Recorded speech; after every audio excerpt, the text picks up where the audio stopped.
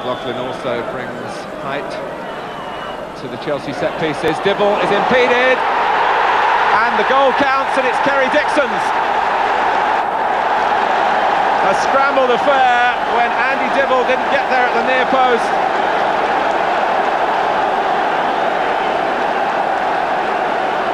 Fifteen minutes gone.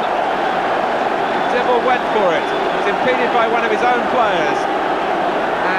Gary Megson couldn't keep it out from Dixon. Roberts. Followed through on Morley then. Accepted in good part. And Dixon, as he got away from Gayle, he has. It's Wilson in the centre, 2-0 to Chelsea.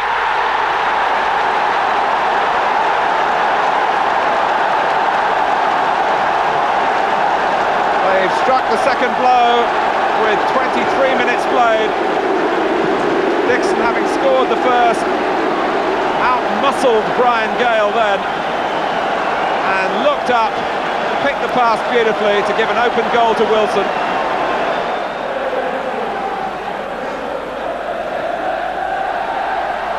And Dixon got the head to it. Two City claims for a penalty. Lake dispossessed, and it's an amazing break by Chelsea. And Tony Dorigo, who goes round Dibble and finishes it all in style. And Chelsea, having been under the collar for the last 10 minutes or so, have broken the length of the field to go three up and surely quell the Manchester City fire. Dorigo, the player who found goals so hard to get before this season, only one league goal to his name. And this is his sixth of the season, so adventurous have Chelsea been. And he spotted the moment then and made the most of it. Moulden has got the better of Roberts. Penalty.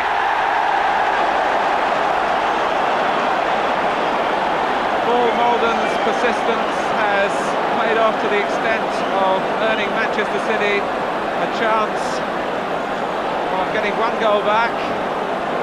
I must say it was a decision which didn't immediately leap to the eye. Roberts shakes his head.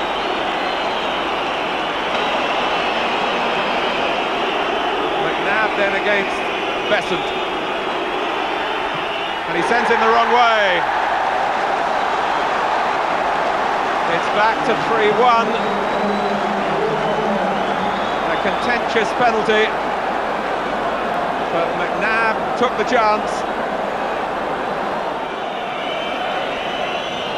Lake for the last long throw for Manchester City. And Moulden, and surely a goal for Taggart. 3-2 in stoppage time. Gerald Taggart, the 18-year-old, his first in the first team. With Chelsea struggling to get the ball away, and it ran invitingly for Taggart to...